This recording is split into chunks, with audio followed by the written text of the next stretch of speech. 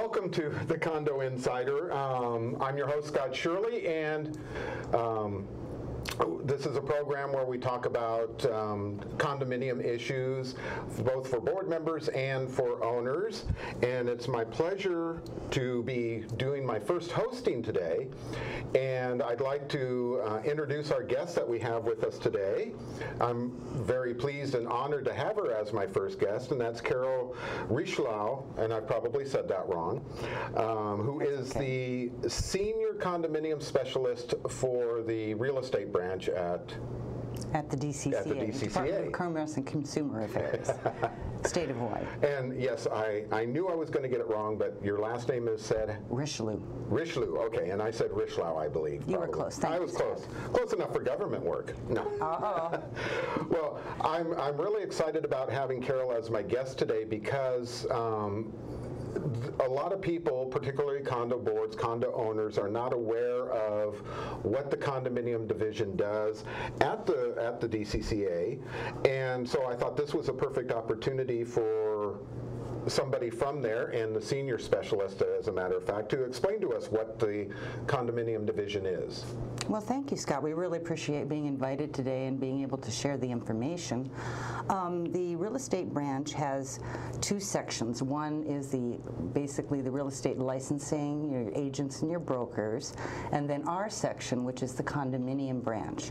And we're basically charged with the enforcement of certain statutes, those being Hawaii Revised Statute 514A and 514B, as well as the Hawaii Administrative Rules. Now, 514A applies to condominiums that were built before July 1st, 2006. 514B applies to condominiums built thereafter, as well as controls the governance.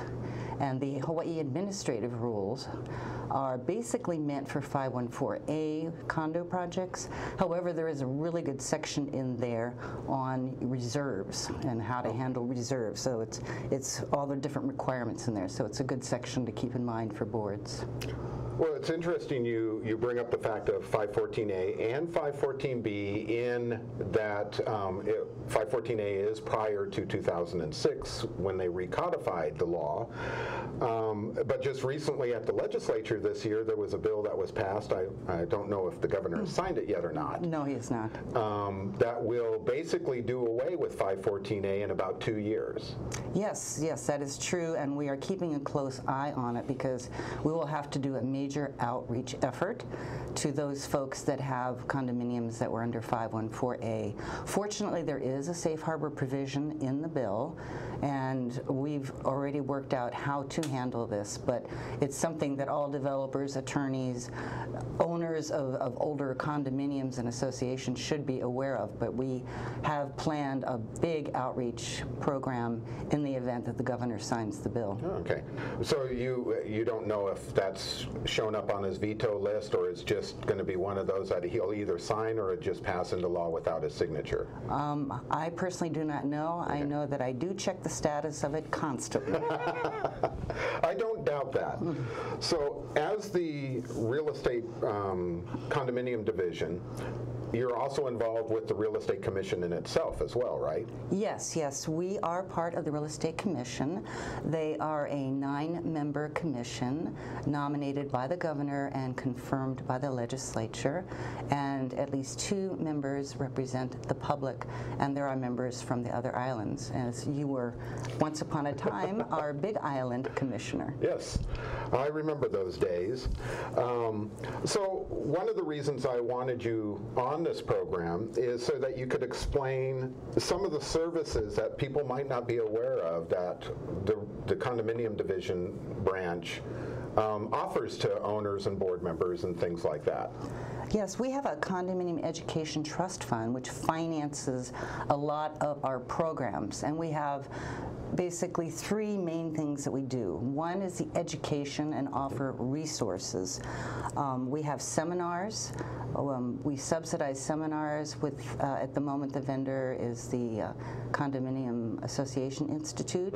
At least nine of those a year, not only on Oahu, but where there is interest, we will go to any of the other islands, and those are subsidized for condominium associations that are registered with the Real Estate Commission. We also have online videos. Uh, we've done videos on um, pets, and we've done videos on, on it's your favorite topic, fiduciary duty, and we also recently did a free program for owners at the state capitol called Condorama, and we also have that available online. In addition, we do quarterly bulletins, which are published online of, of areas of interest for owners and boards, and we also have an email subscription service, which is kind of an update on the latest in educational opportunities or any changes in the law or events that also is available. And we also are concentrating on outreach now. So we've been going to consumer fairs. We've been, you know, we've done downtown, we've done Kapolei, we're doing one up in Windward, and we're interested in doing more of the Condorama type things. Wonderful. In addition, we have a lot of publications. We have many, many brochures available online. They're for both owners and for um, boards. We have ones on aging, business judgment rule. Um, we have ones on whether you even want to be a condominium. We have ones on whether you want to buy a condominium. Um, we have ones about aging in place that are um, in there. Common issues that we have, financial issues, all kinds of material available there, as well as guides for both owners and board members. And it's all available uh, online. Uh, Not only is it available online, but if you happen to go to where the office is located, they have most of those brochures right there available as well when you first come Oh, in the door. absolutely. Yeah. And when we do their outreach, I come loaded with the box with like 20 or 30 different types of, of brochures in order to, so the public can have that information. And also online, we also have FAQs. There are certain questions that are commonly asked um, over and over, so I think anyone that is interested in this area should look at the FAQs. I mean, one of the common ones is, well, I'm upset with the board. They painted the building green, and I don't want to pay my maintenance fee. Do I have to pay my maintenance fee? Basically, yes. But um, or the board um, asked, well, do we have to put up notices for our board meetings, for our association meetings? Um, that's a common question, and the answer, of course, is yes to that. Um, and other ones that come up are say, well, can the board just increase my maintenance fees? You know, how can they do that? So there's a lot of FAQs there that I think will answer a lot of people's questions. Well, you know, one of the things as a real estate instructor, as like I do, is um, I often get asked, how does the real estate commission subsidize, or the condominium division subsidize these seminars? And I point out to them, number one, when you get that CAI seminar um, flyer, usually in small print on there it says partially subsidized by the Condominium Education Fund. Right. Um, but people don't understand where that money comes from. Yeah, those are mandatory fees charged at the time of um, development, which we hadn't even talked about yet, Yeah. as well as for associations to subsidize. It's really a minimal fee, um, you know, very not, not painful, but it subsidizes all these educational outreach efforts that we like to make. And I remember you pointing out that a lot of the CAI, Community Association Institute seminars, are here on Oahu. Yes. But from time to time, they do have them on the neighbor islands. Absolutely. We'd love more participation on the neighbor islands. That's what I was going to say is, is uh, if you don't see them on the neighbor islands, that's usually because they haven't got enough signups. Right. We attempted to do two recently, but unfortunately, um, I guess you could say that the, the pre-registrations were somewhat dismal, especially as far as even owners signing up. And so we really encourage people to do that. In addition, the Real Estate Commission yearly meets on each island. Like our next meeting uh, will be in Kona next week, and both a real estate specialist and a condominium specialist will be available at the meeting in order to assist anyone if they have questions regarding the statutes. And, you know, as a former commissioner, I remember those, those meetings very well, that you would have people on the neighbor island show up for those commission meetings, not to hear what the commissioners have to say or do, but to meet with the condominium specialist afterwards because they may be having certain issues at their condo. Right, That they want to exactly. Mm-hmm. discuss. So it's an excellent opportunity when we're on neighbor islands. Right, and of course, we do have an email, um, which is HIREC, H-I-R-E-C, at dcca.hawaii.gov, if anyone wants to email us questions. And in addition, we do have a condominium hotline, uh, which is available, which is uh, 808-586-2644. So we have we have the website, we have the email. We try to go in person, all uh, a lot of different places, and we also have the condo hotline. So all those are available um, for us to be able to assist people. Well, and I can appreciate that because having been a commissioner, being an educator, one of the things that I feel is important is for condo owners and board members to realize that there is a governmental body out there that can help you with this information. Right, because the statute sets out, you know, each owner, each board member, which is who is also an owner, have various rights and responsibilities, and um, it behooves being able to live together in that kind of an association area to be familiar, you know, with what are the parameters, what are my responsibilities. Now, before we get into the issues of registration and developers' public reports, can you tell me offhand about how many people you have working in that department answering phone calls and things like that?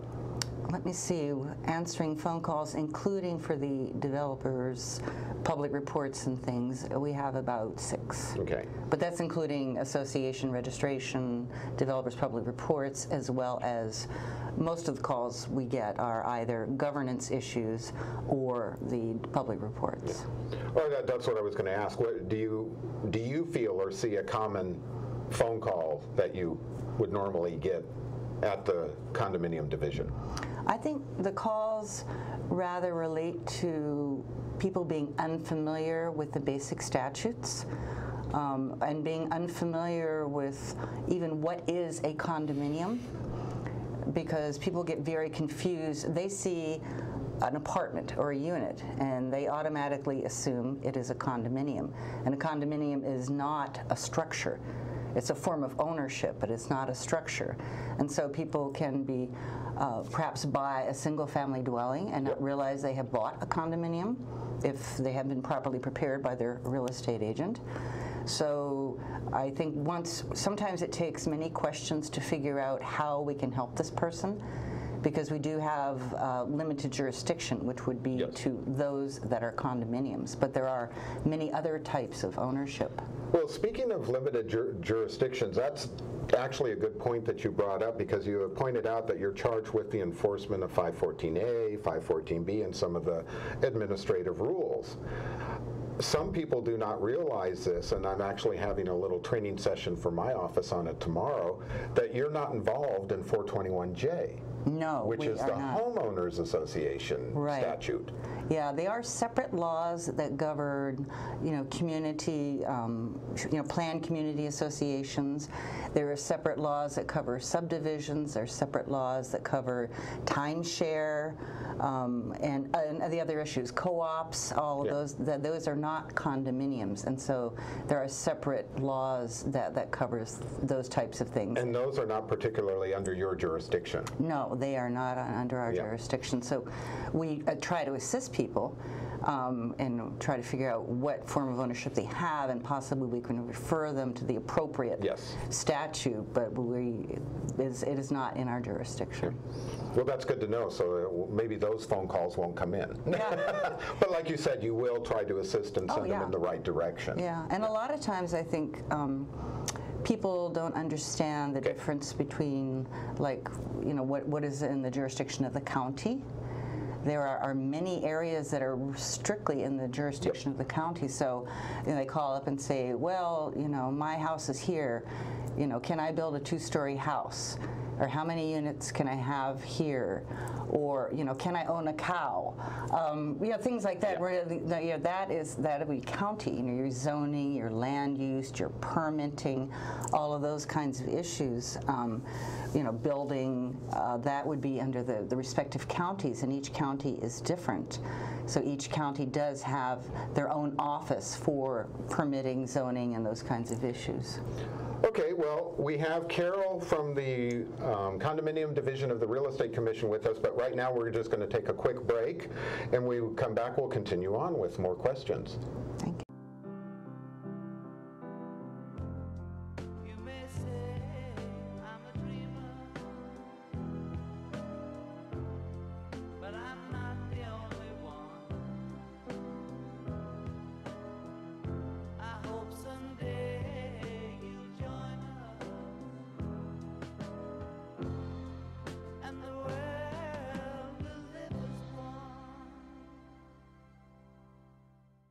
You're watching Think Tech Hawaii, which streams live on thinktechhawaii.com, uploads to youtube.com, and broadcasts on cable OC16 and Olelo 54.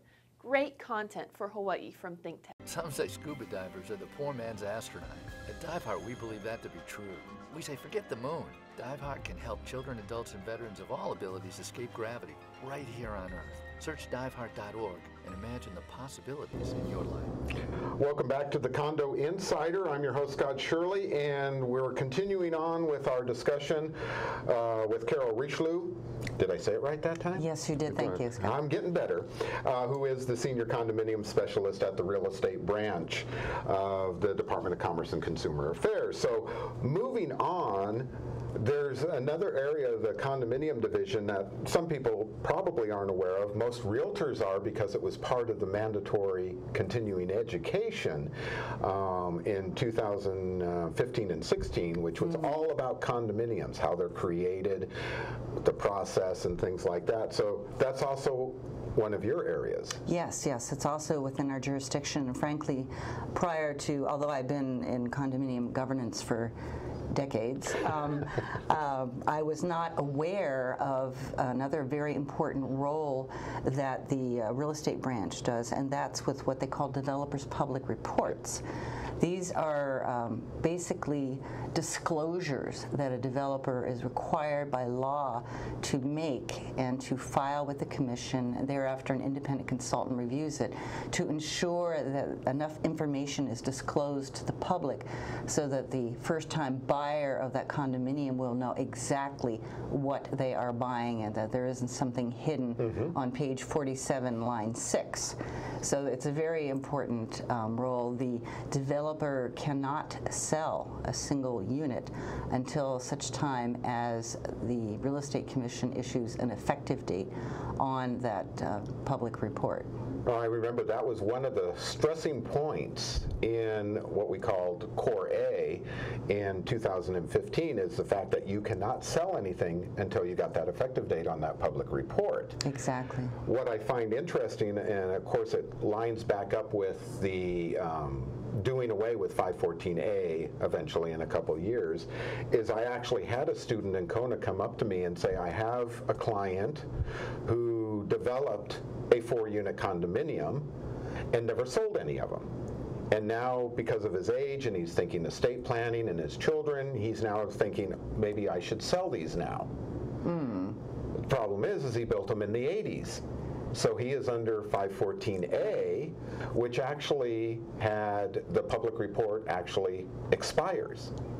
514B, it's evergreen until that last Right, right, unit unless they is got a sold. non-expiring, but it probably didn't. They so, probably yeah. didn't. So my comment to the realtor was, well, he needs to determine, does he want to go back basically and start from square one because it's been so long, Mm-hmm. or does he want to leave it as a problem for his heirs to take care of? Well, when I talked to him again, I asked him, did your client decide? And he says, yes, he's going to leave it for his heirs to deal with. Oh, my. Which, in my opinion, is probably the right thing to do.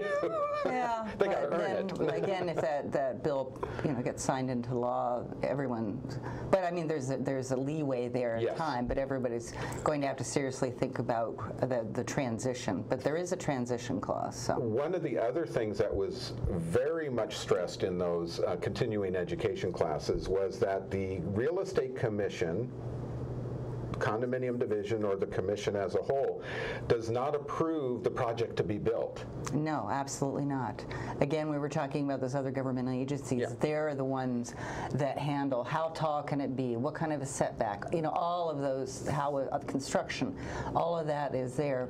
Basically, um, it's not an approval. It's the effective date is given when there it's decided that there's been sufficient discl- disclosure made, Yeah.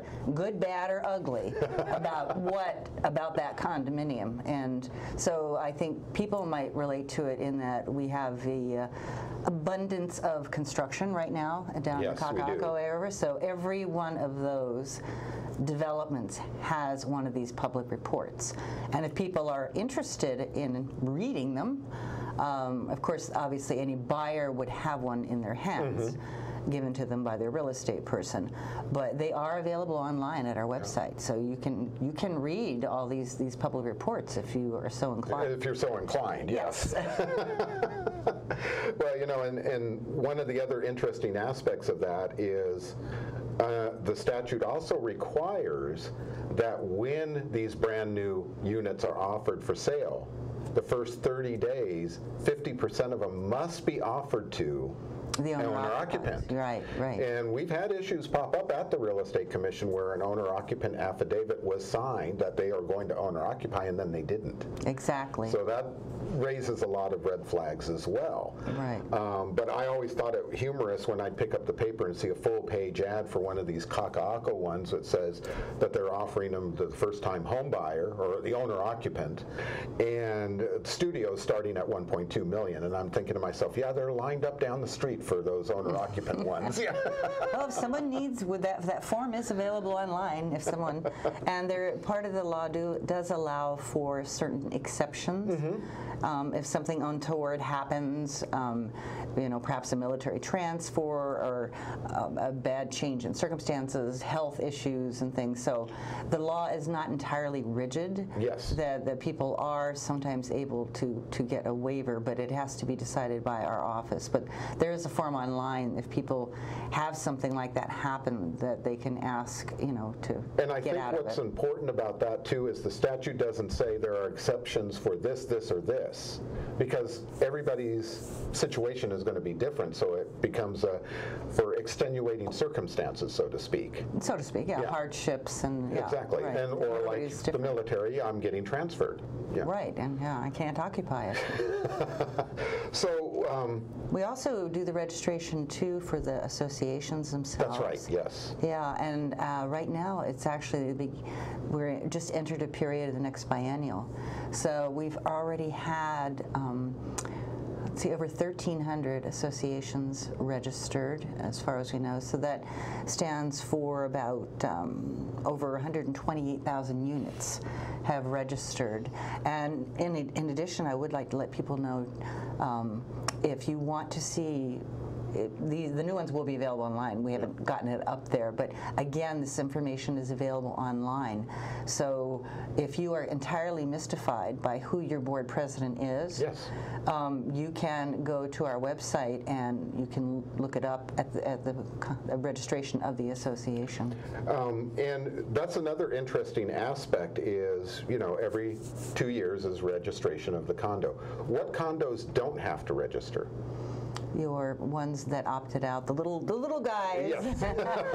Because I often have that out. question, and it's usually Yeah. the one or two. Yeah. Well, I can't imagine a one-unit condo, but it probably because there does isn't exist. such a thing. Yeah. You Well, have to have two. you have to have two because it's a, the ownership. Well, and the other aspect of that too is a lot of people, like you had mentioned, that they could looks like a single-family home, Mm-hmm. but it's actually a condo. Right. And what we, I like to remind people is you can pretty much condominiumize just about anything. Yes, including so- shops, stores. There's there are commercial condominiums. There There's are now mixed- storage being done. Yes, there is, and there's also mixed use where you have uh, perhaps downstairs and first floor offices, downstairs shops, restaurants, and then the rest is a, is a condominium. And I think some people get confused too, even by again, don't judge by the shape of the building, like Exactly. townhouses. A townhouse could be a condominium, but not necessarily a condominium. So don't judge it by the structure. Well, and, and speaking to that, I actually had a student a couple years ago tell me, and I am surprised I hadn't thought of it myself.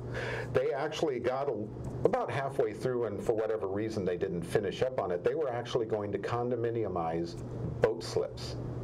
Oh, that's interesting. And, uh, I've heard of parking. Know, Parking Yeah, spaces. parking and- spaces, And, and to yeah. me, that actually made a lot of sense. I don't know why they didn't follow it through, but we're seeing different aspects. I had predicted 10 years ago that somebody was going to condominiumize your storage spaces, Hmm. and now it's happening. Yeah. And, and if that turns out to be successful, you will probably see that further down the road. So instead of paying rent to store the stuff that you visit once or twice a year, you can own the space. Right. that you're visiting once or twice a year to see your stuff. Right, then your little sidewalk will be your common area. Who's going to maintain the plant?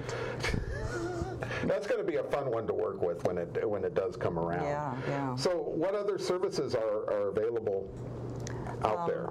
Well, in addition, on our, our website too, we try to put some links on to the, the important, other important resources such as the Bureau of Conveyances, because a lot of people don't understand, you know, if, if they, especially if they're pro se and try to do it themselves, Mm-hmm. you know, like how to form a condo. I mean, it, it's in the law basically, you know, you but you file with the Bureau of Conveyances Yep. you know, your declaration, your bylaws, and your condominium map, and poof, you have a condo.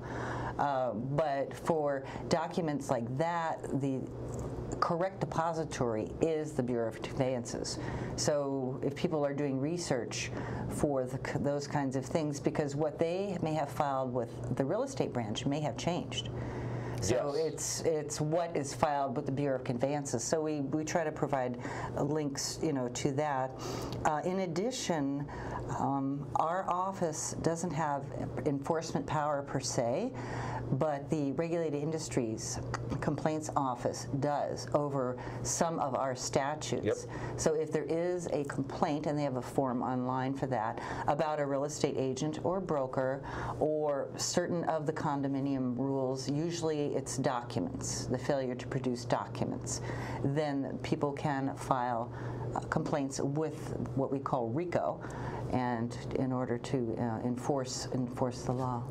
Well, we're actually, you didn't think we'd have enough to talk about for half an hour. We're actually just about out of time. Oh, my. So what I'm going to suggest is one of these days we will bring you back so we can talk about mediation and arbitration, which is another big issue within the condominium It is, um, is. industry and the different types of availability that there is out there. Yeah. Uh, myself, Richard Emery, we're firm believers in mediation. Mm-hmm. So that'll be a good topic for us to do on, an, on another episode.